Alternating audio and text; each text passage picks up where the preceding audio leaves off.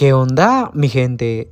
Aquí les saluda Elías nuevamente y hoy les estaré contando sobre el supuesto regreso de la serie de enemigos íntimos. Así que si les interesa el tema de hoy, pues suscríbanse y quédense hasta el final del video.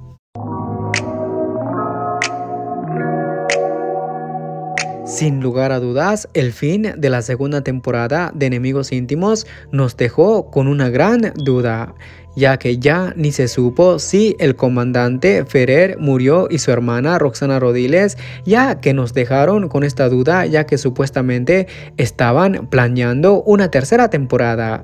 Pero ya ha pasado mucho tiempo y ¿qué es lo que ha pasado con esta serie? ¿Será que sigue en pie la tercera temporada o esta serie ya llegó a su final?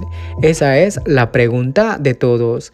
Por cierto, si no me siguen en Instagram todavía, vayan a seguirme ya que ahí nos mantenemos más en contacto y siempre hablamos de todo. Entonces, volviendo al tema, ¿podríamos ver una tercera temporada de la serie Enemigo Íntimo? Ya que no es un secreto que esta serie tuvo mucho éxito. Pues ahora sí les cuento que al final ya tenemos noticia sobre la tercera temporada y les digo que sí habrá una tercera entrega, pero no se aceleren ya que supuestamente la tercera temporada de Enemigo Íntimo saldrá hasta finales del 2023. O sea que tendremos que ver estrenarse El Señor de los Cielos y luego ver a Enemigo Íntimo en acción. Pero lo bueno que ya se sabe que habrá una tercera temporada de esta serie. Déjalo en los comentarios qué piensan de esto.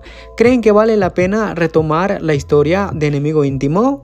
Compártenme sus opiniones en la caja de comentarios. También no olviden suscribirse al canal activa la campanita, que eso me ayudaría mucho a seguir subiendo videos para todos ustedes. También me pueden seguir en mis redes sociales, en Instagram como también en Facebook. Yo soy Elías y ahí nos vemos en un próximo video.